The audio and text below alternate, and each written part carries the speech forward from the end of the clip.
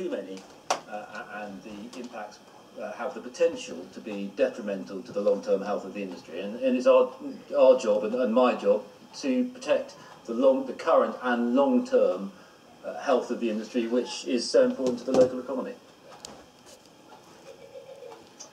Well, Lord Derby is an ancestor of the man who gave his name to the famous Racehorse Classic. In a statement, he says that his scheme would provide a lot more affordable.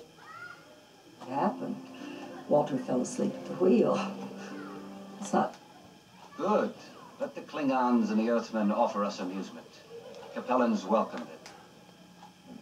They need support from some experts in chimp behaviour. We've been told more so-called garden communities. The plans are in the very early stages, but three possible sites have already been earmarked, one at West Colt. More on the Tendring Colchester border for 9,000. It is the brainchild of four councils across Essex who are bidding for money from the central government to fund the scheme.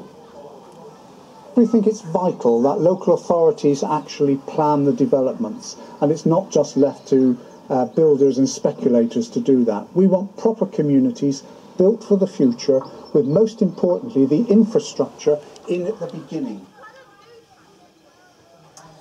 Thank you for joining the Anglia team for local news this evening. Plenty still to come. Yeah, in fact, we've got important news for you from both Ipswich and Norwich, plus this. We're on the water with a little boat that's carrying on the age-old tradition of trading on the region's rivers.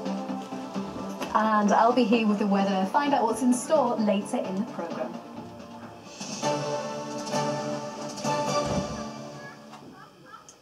But before that, all this week, we are marking Mental Health Awareness Week by looking at issues that affect different generations. Well, yesterday we reported on concerns over the mental health of school children. Today, it's the so-called gaming generation. Figures suggest one in a hundred people living in England. This is Senua, a Celtic warrior. Her lover was killed in a Viking invasion, so she's on a quest to find his soul.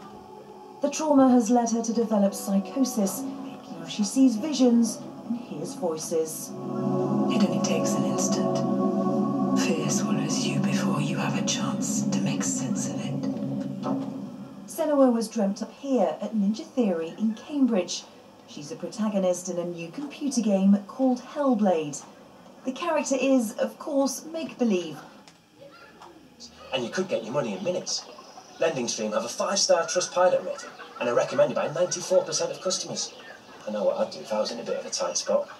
Apply now at lendingstream.co.uk. Representative 1325% APR. Do you actually come from where you think you come from? With an Ancestry DNA kit, it's easy to find out. Anyway.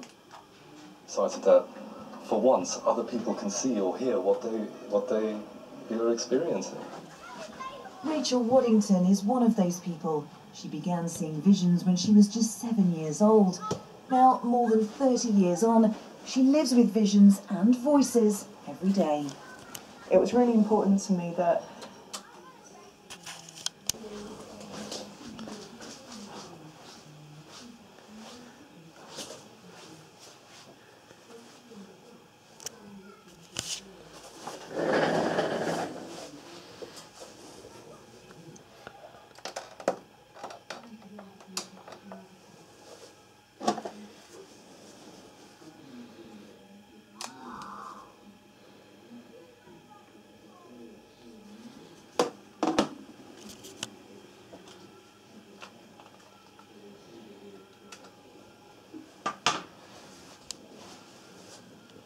sort of technology, whether games or virtual reality, could useful, usefully be applied in my work. So, for example, either in medical education or, or beyond that, even in, in therapeutic approaches to patients with mental illness. The aim of the game is simple enjoyment. The hope is this alternative reality will change perception. News. Tomorrow, our series of mental health reports will reach parenthood. We'll hear from a mother about her experience of postnatal depression. In the meantime, for information about where to